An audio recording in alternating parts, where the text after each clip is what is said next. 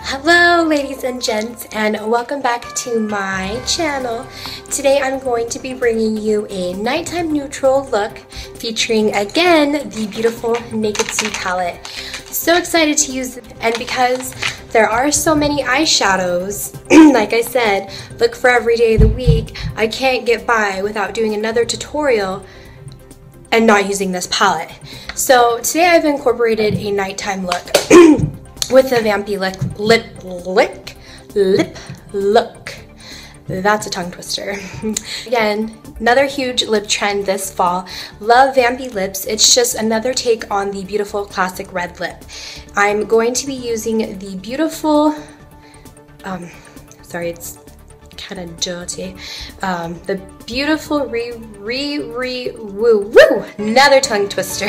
This is very very similar to Ruby Woo. So if you have Ruby Woo, go grab it and you can do this look. Don't be upset if you don't have Ruby Woo because it's exact same exact same shade. and then again the beautiful Night Moth lip liner that I have showed you in my my, my plum lip tutorial. Um, because it's so dark, it's so perfect in creating that vampy lip look. So I'm going to be using products that I've already shown, but that's a good thing because if you went out and bought those products based on recommendation or tutorials, you'll have another way to use them. So Yay me, yay you. Okay, we're good. I'm gonna be showing you eyes and lips, just so you can focus on just those. You've seen me do my blush and bronzer, which I already have blush and bronzer on, so you're that part's not gonna be a a part of the tutorials. Um, but if you do like me doing blush and bronzer, let me know and I will put those in my videos. But just for this one, we're just going to be focusing on the neutral nighttime eye look and the vampy lips. So I hope you enjoy. Stay tuned. Make sure to subscribe and like and thumbs up if you liked it. And we'll see you next time. Love you. Bye.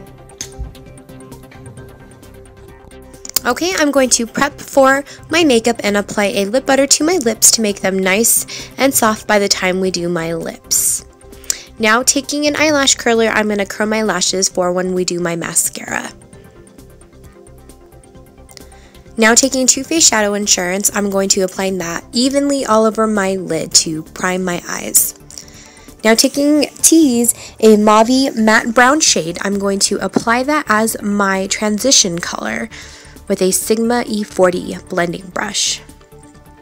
Now taking the color Chopper, which is a beautiful coppery shimmery tone shade that really brings out um, brown eyes. It really brings out a caramel or honey tone in brown eyes. I'm going to apply that to my entire lid. Now taking the color Pistol, a grayish brown frosty shade, I'm going to apply that to the corner of my eyelid and take a blending brush and blend those into my transition color. Now taking the color Busted, a burgundy deep brown frosty shade, I'm going to use that to deepen and define my outer V area and blend that into the other colors. Now taking Half Baked, this beautiful light golden shimmery color, I'm going to apply that under my eyes.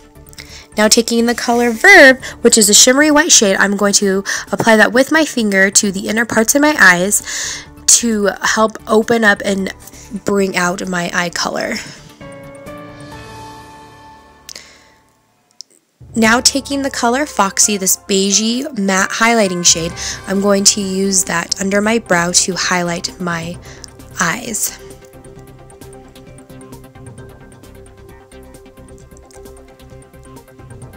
And just blend this blackout in my outer V area. Just to deepen up the crease and blend it out.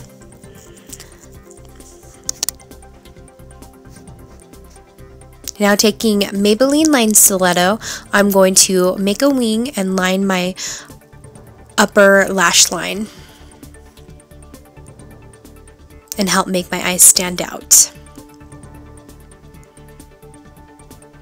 Now taking MAC Select Moisture Cover Concealer, I'm going to use that to clean up my under eye area and conceal any dark circles and just blend that out with my fingertips.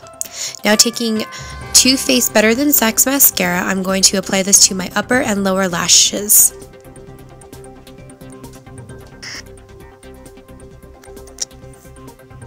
Now taking Night Moth lip liner, I'm going to start out by defining my cupid's bow and lining my upper lip. And I'm really concentrating on defining my cupid's bow. now it doesn't look like I have a mustache. I'm going to uh, line my lower lip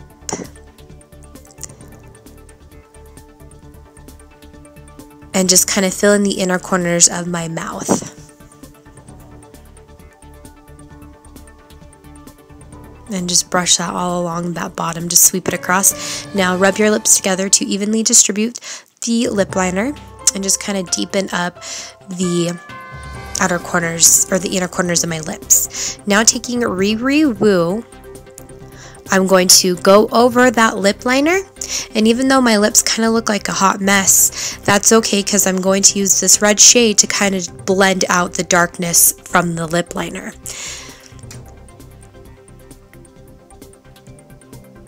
And just go over that dark.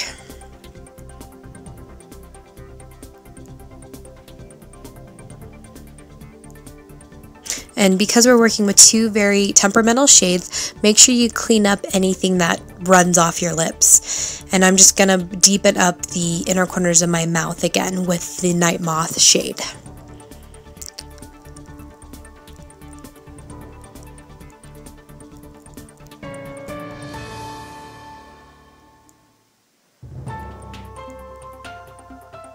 Now I'm going to apply some more red lipsticks because I kind of lost the shade a little bit.